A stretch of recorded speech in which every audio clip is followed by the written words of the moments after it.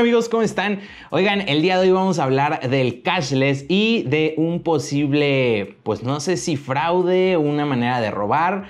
Ahorita me van a entender un poquito más. Bueno, les voy a contar la historia. Yo asistí a Tecate Emblema. Aquí tengo mi, mi pulsera de Tecate Emblema. Esta es la pulsera del cashless, ¿ok? Con esta pulsera tú puedes comprar dentro del festival porque ya no te aceptan efectivo. Hasta ahí creo que todos estamos bien, ¿no? Hasta ahí todos sabemos lo que, lo que pasa con esta pulsera, ¿no? Tú le recargas, por ejemplo, mil pesos, no hay ninguna comisión y tienes mil pesos para gastarte dentro del festival. ¿Qué está pasando y qué creo yo que va a empezar a pasar en un futuro? Si no es que ya está pasando. Bueno, resulta que yo les estaba grabando un video donde yo estaba recuperando el dinero de esta pulsera.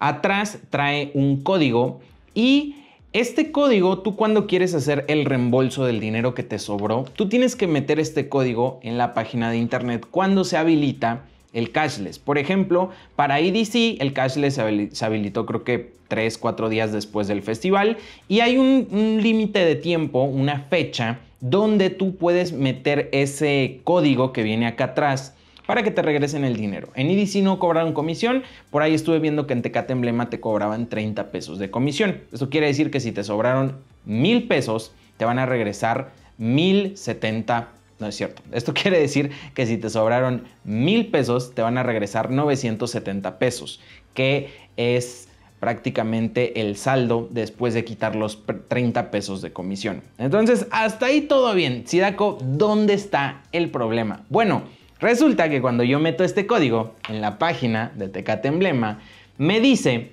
que este chip ya está enlazado a otra cuenta. Y pues no era así, o bueno, tal vez sí, el chip puede estar enlazado a otra cuenta, ¿no?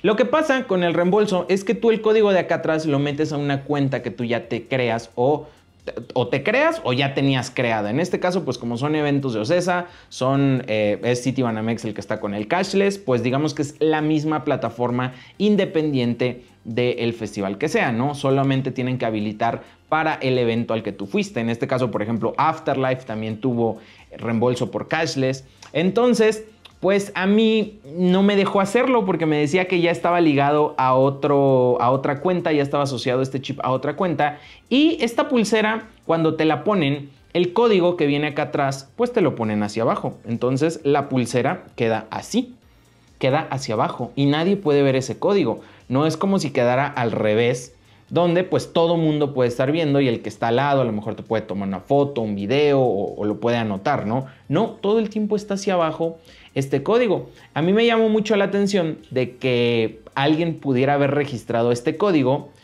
Uno, porque nunca me había pasado. Y dos, porque pues la pulsera no la saqué en ningún momento. No hubo ningún momento donde yo la sacara en un video o la sacara o, la trajera al revés y no me diera cuenta que a lo mejor estaba con los brazos acá arriba. O sea, no hubo algún momento donde yo hiciera algo así. Aún así, me sale que esta pulsera está ligada a otra cuenta, este chip está ligado a otra cuenta.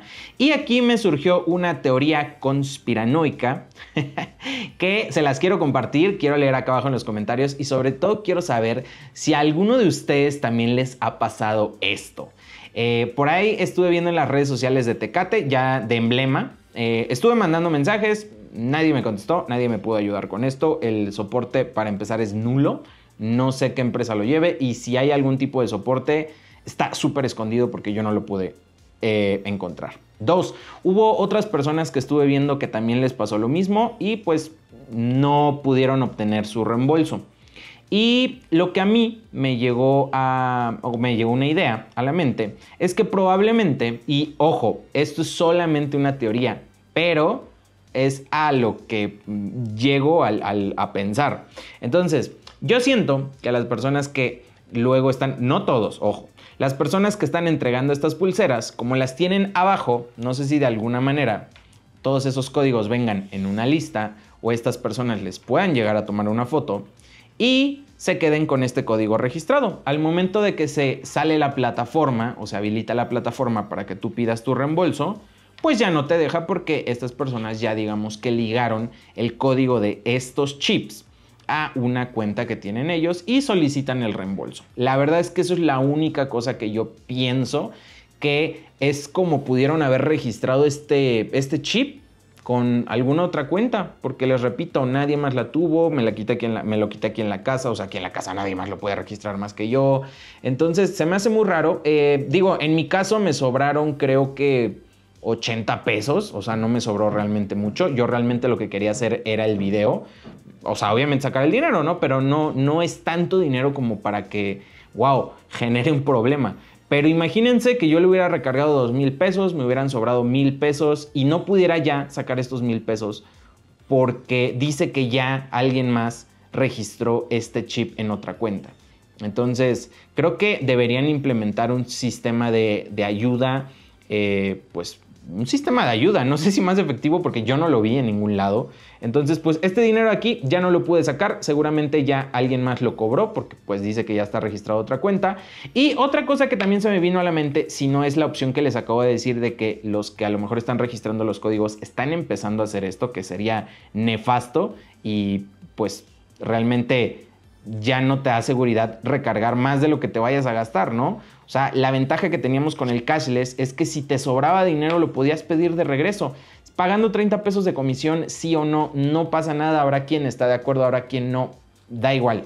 Pero el problema es que, imagínate, te sobra más dinero, ya implica un, pues un impacto en tu billetera muchísimo más grande.